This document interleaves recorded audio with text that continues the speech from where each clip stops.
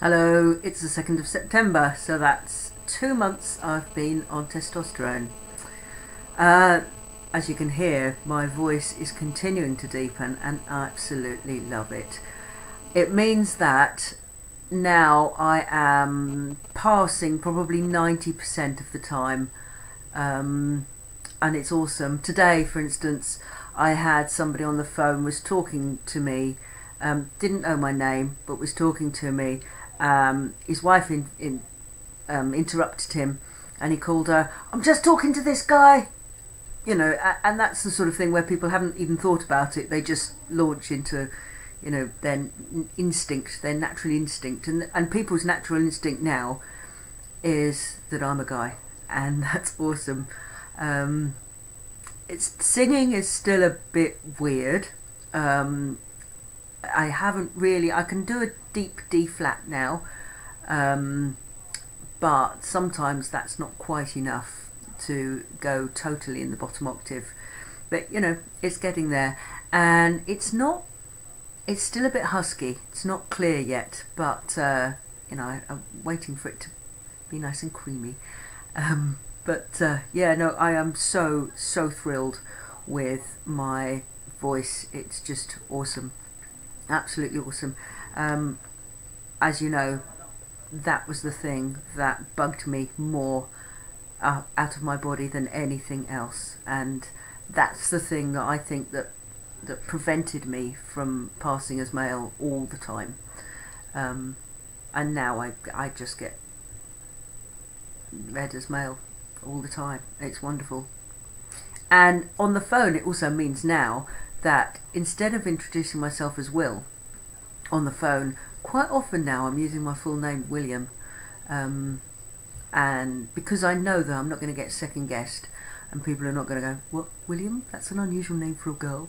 Um, now they just go, Oh, yeah, William. And I like the name William. I like the name Will, but William's good as well. Okay, what else is there? Well, hair.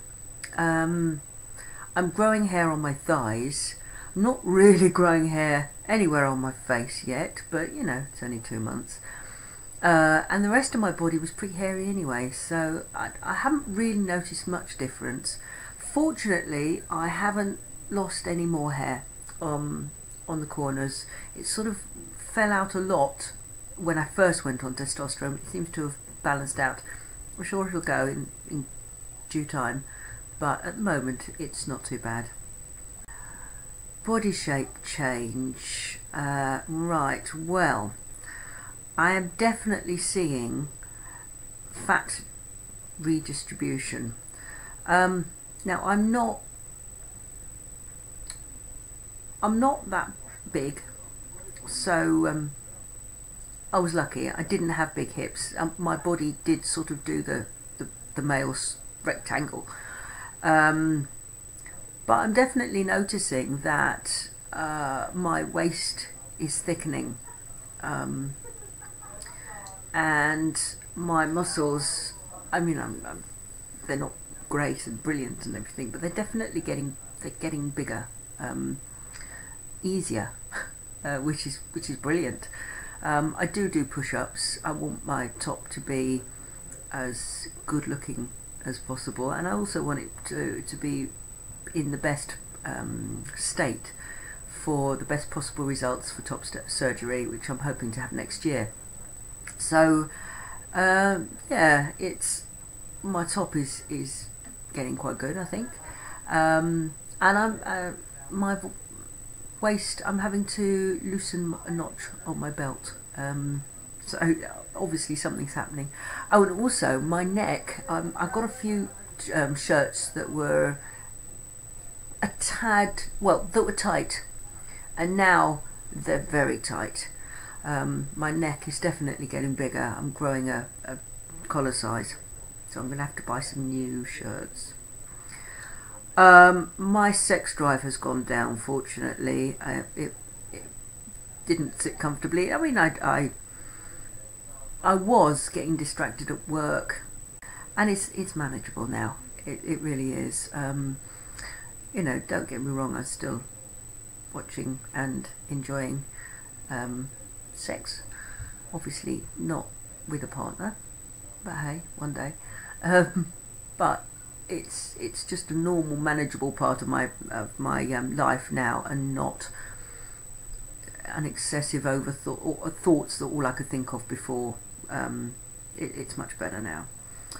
Uh, since my well, my last shot, my third shot was last week, and since my second shot, menses hasn't come back, um, which is awesome, absolutely awesome.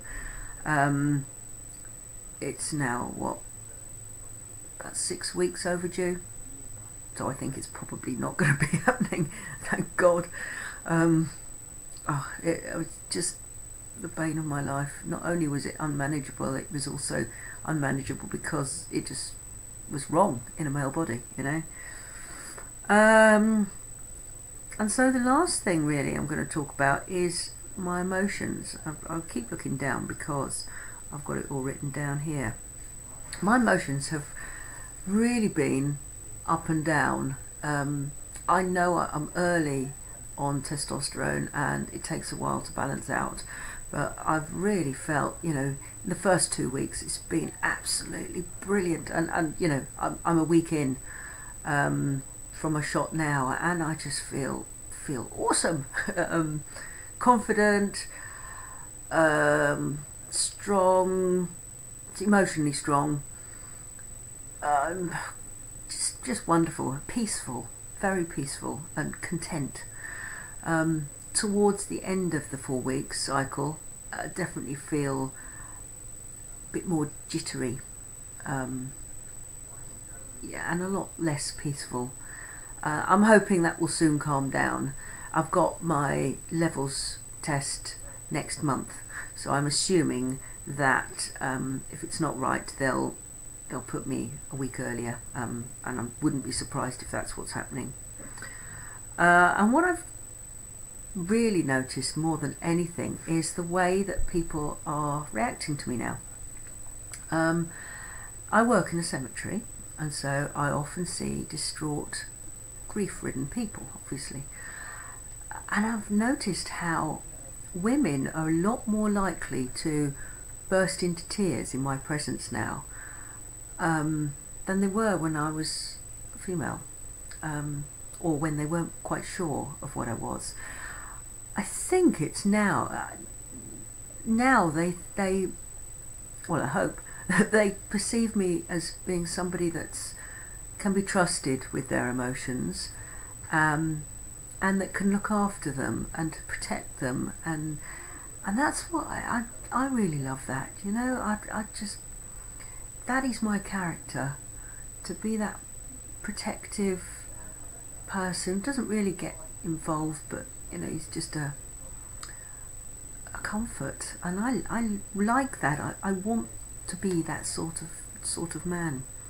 And I know not everyone's going to think that's a great thing to be, but I'm. I want to be able to, and I, I'm feeling like I, I can show my more feminine side more and more now. Now I'm definitely perceived as male. I can show my feminine side without being feminine. Um, and I know that women like that, and and that's why people can be vulnerable in front of me. Um, however, the one thing I wasn't, you know, warned about, I guess, was that I would lose my ability to multitask. Now, I, when I had young children, I had three young children. I was a single parent. I held down a full time job, and I did a university degree part time. And okay, it was tough, but you know, I managed it. And now I, I've got hardly anything going on in my life. And I, if something else comes on, I feel myself starting to get overwhelmed because I have maybe two things to do, which is absolutely ridiculous. I have been really good at multitasking and now I get overwhelmed by more than one thing to do. and, you know, when I answer people, I can't drive and talk if it, you know, at the same time. It's just, it's really annoying because actually I I do need to multitask at work. I do need to do more than one thing. And it's it's not going well at the moment.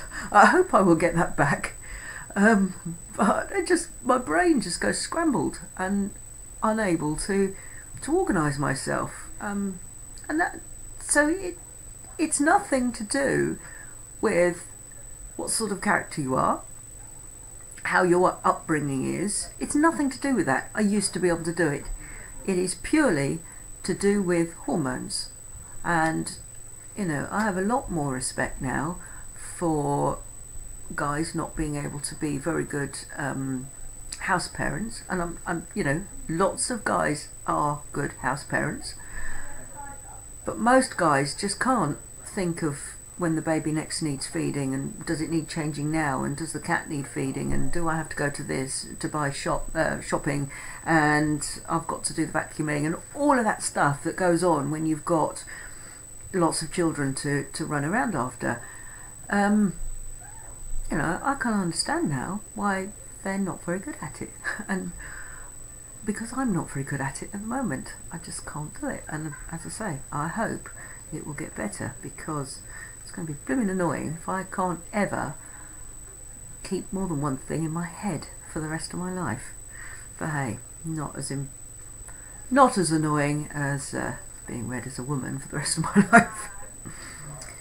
um, definitely towards the end of the four week cycle, I become less happy go lucky, lovely, comforting Will and become grumpy, irritable, um, can't really be bothered to answer people, Will, who I actually don't like. Um, and despite the fact that I don't like him, and I can sort of see myself doing all these things and sort of snapping at people and going, I'm sorry, I, I didn't mean that. It was just the way it came out of my mouth. It just didn't sound right.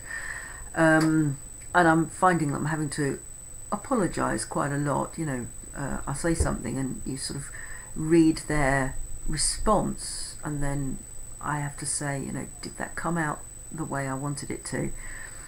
Um, and hopefully that will be another thing managing. Oh, it's also a, case of managing my voice because I say things um, louder than I need to say them because I can't quite manage the volume of my voice yet. And that sounds weird, but I either sort of mumble really quietly and nobody can hear me, or I shout at somebody, you know, hey, and I don't mean to, to snap. It just comes out with that sort of deep, gruff, ruh. Um, and that's really not what I mean, but I think it's just a, a case of managing my voice. Right, well, I've talked quite a long time. Um, thank you for continuing to watch. if you haven't, then fine, I don't care. Uh, I will see you next month when um, maybe I will have a bit more facial hair, but who knows? My voice will be gorgeous. My voice is gorgeous. I'm so thankful for it. I'm so thankful for hormones and for the place where I am in my life. Right, I really am going to stop rambling on now and see you next month. Bye.